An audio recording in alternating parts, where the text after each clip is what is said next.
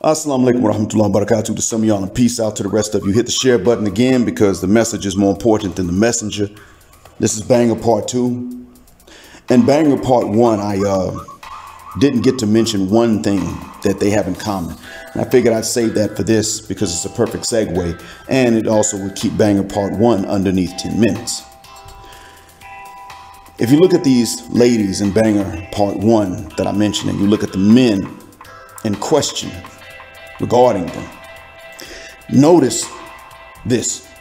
All the men are NS, non-stereotypical or non-street. All of the women cannot see these men as being actual men with boundaries that need to be respected. When we have always heard or seen that sisters don't look at NS uh, black men as men, but they do look at idness, IDNS, intentionally dysfunctional negative stereotype black men as men whose boundaries should be respected. We're now learning that they also look at non black men, specifically the ones who come from origins that are known to look down on us as being men as well. They don't necessarily look at the Dominican as being men or because they're a little too Negro friendly or too black adjacent. Not so much. But they do look at the Korean, the Chinese. They don't look at the Thai per se, or the Laotian or the Cambodian men, or the Malaysian or the Filipino men as being men, but they do look at the Chinese and the Koreans. Well, what do they have in common? They're most likely to look down on us from amongst the Asians. Issa Rae said it. Get you one of them. Don't get the others because they're the N words of the Asians. Now, done married a brother. I wish that man, I wish more of us knew this stuff so that these ladies couldn't find anybody. So that being said, um, you know, we're now finding that you pretty much have to be detrimental to black folks in order for them to see you as a man. Stop and think about that. Associated with it, at least. This is why it is that when they sit up and they say that you're going to die alone for being red pill or SYSBM or passport, you must understand and realize that what they're using is a threat of something that was highly likely for you, statistically speaking, anyway, because they can't see you as a man. So that means they weren't going to respect you. So if you got with some of them, then when you got old and sick and about to die and your dingaling currency ran out and you can't do anything to earn no more money, it's the same thing. They don't respect you, so why they gonna take care of you? So you're gonna die without them now. If you got good kids and the kids are within uh, reaching distance of you, then th that lessens the chances. But you could have good kids and they just take a long time to get to you that's happened to many a good parent and, and good, uh, good child.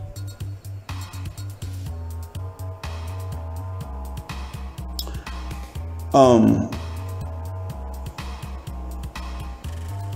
Miss Elite, I think it was, posted in her community tab that these ex-plays and ex-pimps are now in hospice and they're old and they're alone and nobody comes to visit them and they want to tell their stories. Look, if those men did everything that sisters say they're supposed to do as real men, they still had a high chance of dying alone. How do we know? Red Femme Diaries told us so. The born again Christian who has a life expectancy that's almost up. The doctors have uh, pretty much diagnosed her as terminal. She got two sons and she wants them to know exactly what they need to understand about women because she ain't gonna be around a guy then when they're old enough. She doesn't expect to be. So she's given up the game. She wants to leave that legacy. She said, My father was a stepfather before I was born. My older siblings are from another man, another dad. My mother could never respect him. And this is because women view men who are willing to become stepdads before dads as admitting to their own genetic inferiority. That's how they view it. Now they'll tell you that a real man will do exactly that. But when a man does that and he ain't got his own, then they see him as admitting to his own genetic inferiority. That means they'd have more respect if he committed infanticide. They would respect him more. That's the funny thing about it. Susan Smith and you won. That man said he didn't want somebody else's kids and she got rid of hers. And the funny thing is, if I'm not mistaken, she's actually been intimately involved with a guard and cost him his pension. So they want to sit up and act like you had all these options that you really didn't have to begin with. That's the sight game they're going to pull on you because by saying that you had options you didn't really have, they can still hold you accountable for things that they already predetermined were, were likely to happen anyway. And then they can say, well, that's your fault. It's always your fault. So when you're by yourself, that's your fault. When you're alone, it's your fault. Even though that's not something that they would let be up to you. They don't want most men and they don't have to. They just need to be honest about it. But what that also means in being honest is that they would then have to admit that they can't like many of you and as a black man, you can't be black enough or white enough, statistically speaking, because see, you got to be detrimental to your people. That's what they're looking for. So you either got to be a non-black man from an origin that, that traditionally looks down on black folks, or you got to be the black man specifically that justifies them looking down on black folks. It's got to be one of them two. You ain't that. You in between. You ain't black enough and you ain't white enough. And they can't respect you. And they don't want to tell you that so that when you do everything you're supposed to do, like Red Fem Diaries' dad did, and you still wind up dying alone, even when you're married, they can sit up and just, well, you know, at that point, they don't have to really explain it to anybody. That's what her mom did to her dad. She told us.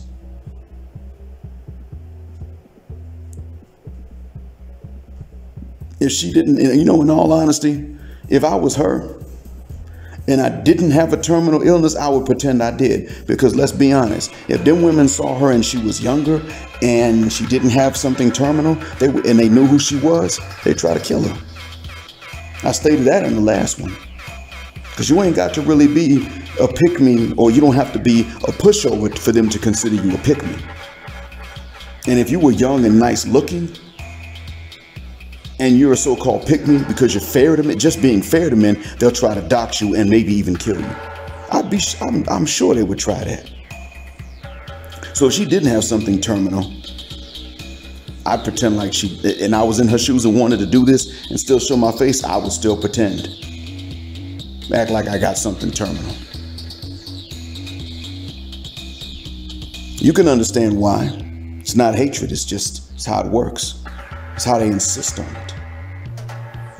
So, with that being said, when they hold that over your head about you uh, being likely to die alone because your SYSBM or passport, somehow you red pill, in other words, you're aware of the effery and the games and the deception, that's another lie right there.